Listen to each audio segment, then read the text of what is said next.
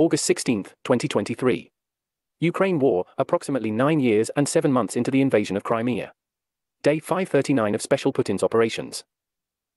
Big picture. Ukraine has officially cleared Urozhaine, and the Kremlin invaders are now forced to attempt to hold the village of Zavin. Shelling was unusually heavy across every contact line in the south and east.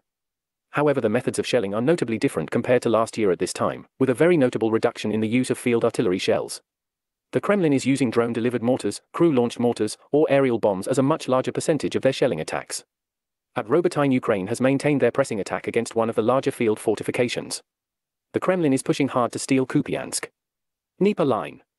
News about Kozachi Laheri from Kremlin mouthpieces state that the Ukrainians have retreated from their landing under force. They said that on day one of the landing, so it's difficult to assess. Ukrainian sources have not spoken of the area. The Kremlin fired 358 shells into Kherson in the last day, suggesting new supply depots or front storage or supply regiments have been established. Zaporizhzhia Front. Ukraine continues to keep the contested line at the first pre-built field fortification outside of Robotyne. For a second day the Kremlin utilized heavy shelling and glide bombing near the Mokri Yaly targeted Ukrainian troops well behind the ground contact line. East Front, Donetsk. Mariinka and Avdiivka were repelled by Ukrainian forces under heavy bombardment. The Kremlin made an attack at Krasnohorivka just north of Mariinka, results were unclear at this time. Bakhmut area. Troops fighting for the Kremlin made an unsuccessful attack near Bakhmut. Neither side has mentioned Klishchivka, suggesting that combat losses may have been heavy for both armies. Considering the number of attacks reported in the course of a few days last week, this is very possible. One thing is certain, the Kremlin does not have hold of Klishchivka village. Oskil border front. Fighting around Kupiansk has been very heavy, and it appears the Kremlin may have been making gains in expanding the contested space over the last day. Oddly, while shelling was done across the front, this was perhaps the lightest shelled front of those where combat troops are regularly engaged. Northern border. Three Shahed drones were shot down over Kharkiv. Something large or explosive was destroyed near the Kharkiv town of Verkhny Saltiv on the Seversky Donets. Black Sea. The Ukrainian Navy officially reported that they have damaged or destroyed four of the six Kremlin landing ships in the Black Sea. These ships include the Kaiser Kunikov and the Novocherkassk both damaged in port, the Olengorsky Gornyak damaged recently while on duty, and the Saratov which was sunk in port. The spokesman suggested that another vessel may have been damaged or recently destroyed, but refused to give more information. The Kremlin continues to keep five combat ships on patrol, none of them with missile capabilities. Ukraine world related. It's very nice that everyone is worried about the food sources for people outside of Ukraine.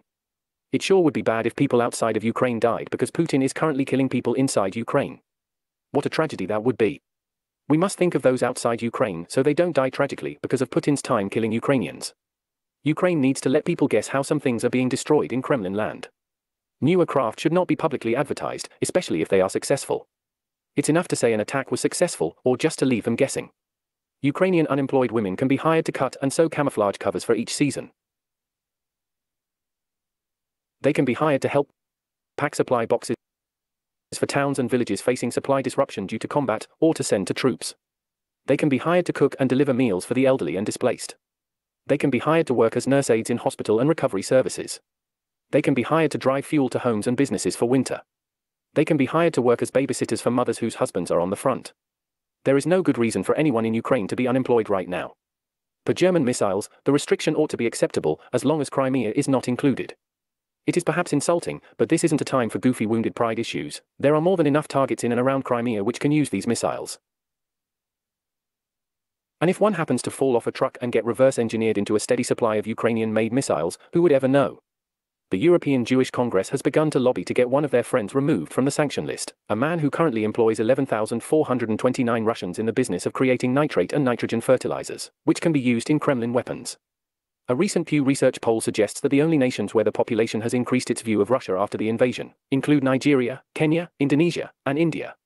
Sweden is putting together a military support package to be worth $313,500,000, their 13th aid package, hopefully to include plenty of Swedish snow gear. We aim to bring more. Like and subscribe.